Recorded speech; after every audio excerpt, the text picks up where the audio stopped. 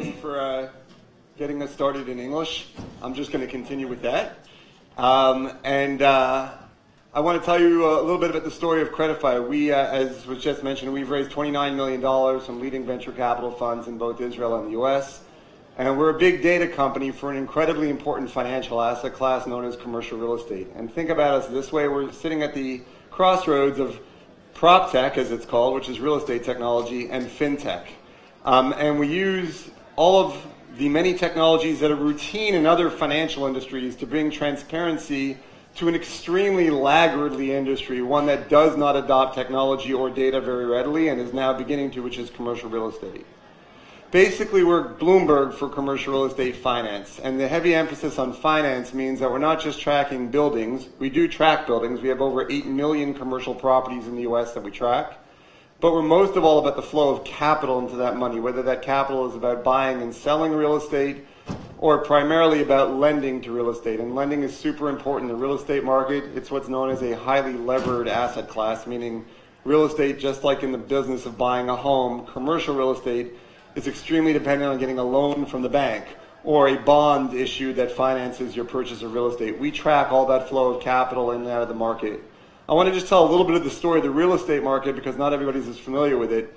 First of all, it's huge. In the US alone, it's worth $15 trillion. It's a humongous asset class in commercial real estate, and of course, there's nothing inherently American about commercial real estate. There are big buildings, uh, including shopping malls and apartment buildings and office buildings all over the world, including here in Israel, of course.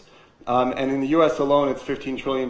It also happens to be extremely tied to the banking system. So what this slide here tells in both words and pictures is basically that there's an incredible overlap between the level of lending, which is the green bars in the chart on your left, and the blue line, which is the price of bank stocks. And you'll see these two things, levels of lending and bank stock prices are incredibly correlated. That's because the US, the US banking system is incredibly tied to commercial real estate. When real estate goes up, the banking system goes up. And if real estate goes down, as it did in 2008 and 2009, well, then the banking system comes way down as well. And uh, it's important to know that, just to know it. It's particularly important at Credifi because that's the fundamental thesis of this company. So as I've said, it's a huge market. It's one that's extremely tied to and exposed to the banking system. The third thing I want to mention about it is it's extremely sleepy when it comes to adopting technology and data. So whereas we heard from Yuval Tal before about the payment system working a certain way, and Brandon just talked now about consumer investing, particularly in that 80% of the market working a certain way, all of them based on data. The real estate world has only now come to the importance of data in order to make the investments happen in ways that are both safer and more transparent and liquid. And we're a key part of that innovation. We're bringing the sorts of machine learning, artificial intelligence in general, and other sorts of data analytics to a market that's not been used to seeing that kind of insight before. Instead, the market's based itself solely on relationships and gut feelings, which, if you think about it, is very 1910. It's not exactly a cutting edge market in terms of its mindset. We're helping to change that market, and in that way, quite similar to some of the insurtech companies that you've heard about as well.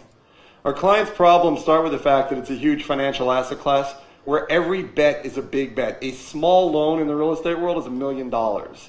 A larger loan could be $20 million, can be $100 million plus.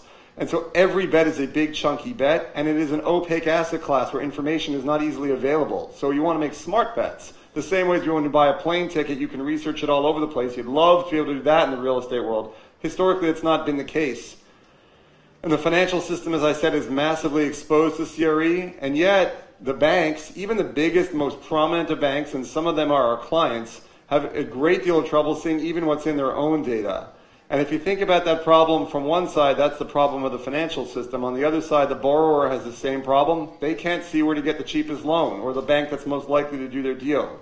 So, in other words, how do you power your big dollar, high risk business in a market where you have zero visibility even into your own data. It's a tough problem. We help the market solve it. We work with all sorts of customers that play in the financial ecosystem uh, sitting behind real estate. In other words, we are a fintech business. We serve the capital markets, the biggest players, whether they're banks and lenders on the one hand, banking regulators, hedge funds, and real estate firms, of course. And these are just some of the, uh, the logos of our clients. Just to call out a couple, Fannie Mae and Freddie Mac are both clients of ours. They're two of the biggest banking regulators in the U.S.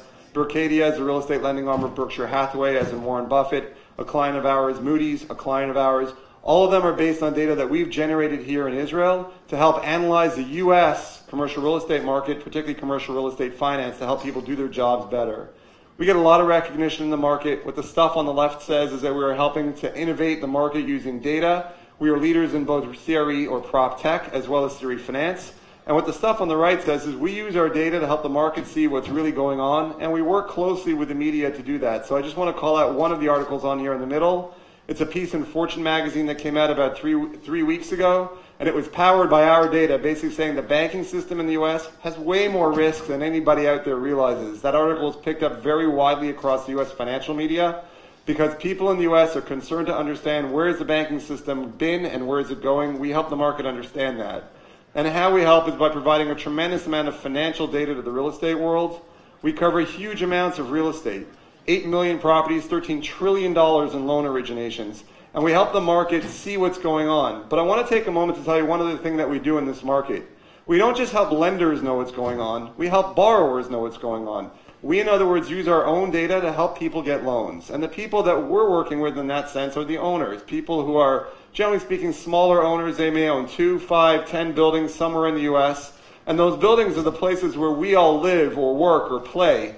And yet they have a really hard time getting loans because most of the banking system ignores them because most of the banking system doesn't even know they exist. So we help those folks on an online lending marketplace get funding from some of our biggest lending clients nationally. We pair those two sides up powered by our data, so an online lending marketplace powered by this very same big data that we sell to the lending institutions. We cover the entire US, both the markets and the players, lenders and owners, which is what you're seeing here.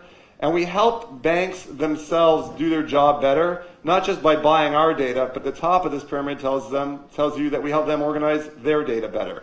So essentially what we're doing is using big data, AI, all the sorts of tech that you're used to seeing in other markets to power the commercial real estate finance market um, and make it a safer place. Thank you all.